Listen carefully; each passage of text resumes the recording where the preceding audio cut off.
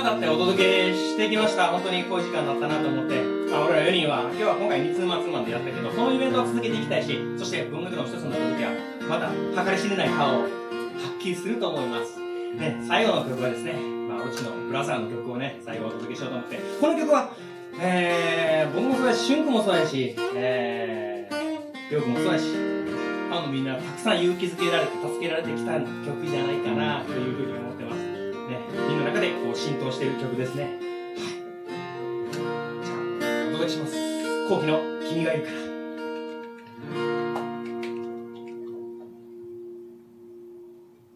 笑おう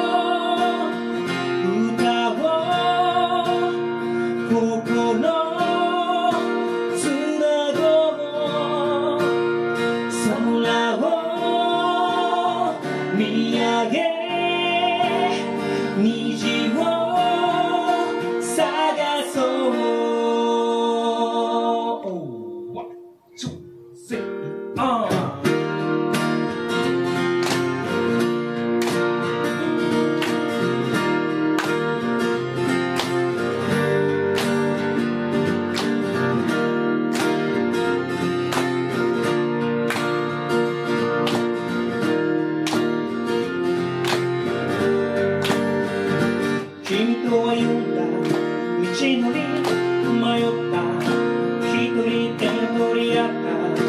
一緒に乗り越えよう。